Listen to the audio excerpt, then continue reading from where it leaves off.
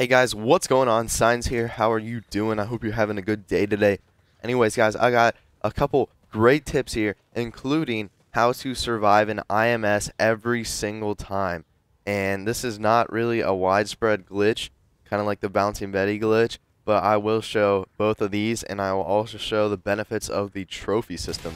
This is going to be just a overall tips video that's going to help you survive. That's what it's geared to. So, you saw that the split screen guy just put down the IMS, so I'm going to quickly set down a trophy system. If you have sleight of hand, you can easily do that in time so that it saves your life.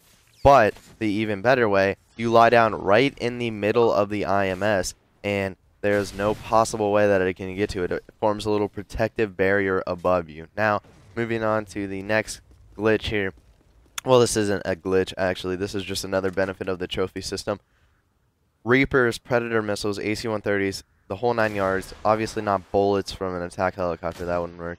But as you see, this guy is completely untouched. So that is a great tip. Use that when if you want to survive Predator missiles. So coming over here, we have the tips to survive a bouncing Betty. And basically, if you go prone right underneath it, there is no way that it can get to you. Again, some kind of weird protective barrier glitch helps you from that. Now, the other thing, if you do not have time to go completely prone, uh, this will work every once in a while. As you'll see there, it did kill me the first time I tried it, but if you're far enough away and you're just on one knee, you can survive it as well. Alright guys, thanks for watching. If you enjoyed that tip, be sure to hit that subscribe button at the top.